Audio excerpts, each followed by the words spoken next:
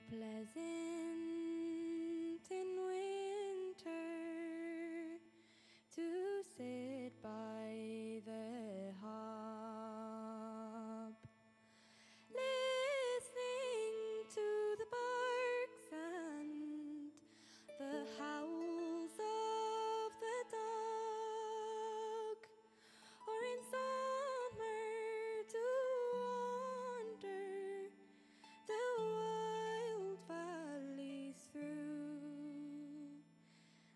to pluck the wild flowers in the May morning dew.